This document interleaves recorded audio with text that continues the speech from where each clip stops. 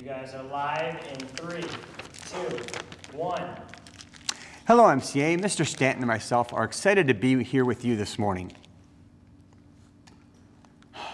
You may be wondering why Mr. Stanton is eating a 100 Grand bar. Well, it's not just because he loves chocolate, caramel, and those little tiny crispy mm. things inside, but it's also because it symbolizes the start of our Meals for Minneapolis fundraiser and our goal of raising $100,000 for the school. If you are new to the school or you don't remember, we have a short video for you to watch about last year's event. Did you know that Minnesota families miss out on nearly 100 million meals each year? This is equivalent to missing dinner 10 times every month. The statistics are alarming. in every walk of life, in virtually every neighborhood in Minnesota, there are families that are having to make conscious decisions daily between paying their bills and feeding their family.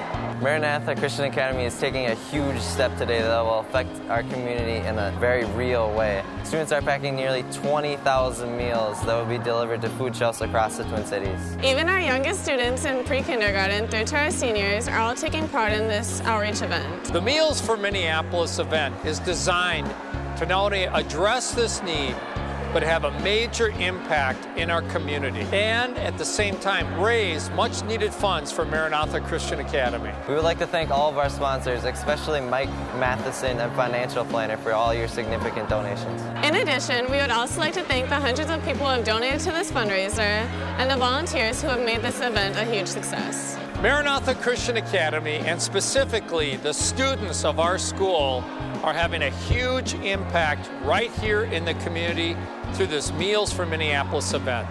Thank you for your support, and God bless you.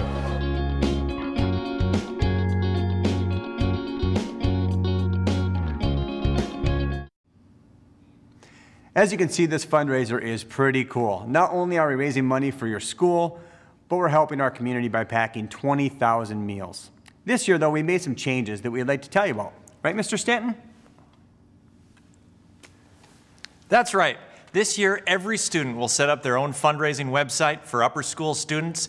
You will be setting up your own site during advisory. And to help you get excited to participate, we have some pretty cool prizes you can win, including wireless Beat headphones, a Beats pill, a $150 Amazon gift card, and a new iPad Pro. Plus, if you qualify for all of the drawings, you'll also be guaranteed a gift card to places such as Starbucks, Caribou, and other cool places. Did you just say guaranteed a gift card? I did. Be sure to check out the other deadlines for prizes and what it takes to win them by reading the materials handed out. You know, I- know what you're thinking. This is going to be some lame knock on my neighbor's door, ask him for some money fundraiser. But the truth is, it's much easier than that. We have some simple steps that you can, you and your parents can follow and go through to help raise much needed funds for the school. And it can be pretty much done all online. But you're going to need your parents' help. So we created some step-by-step instructions you can talk to them about.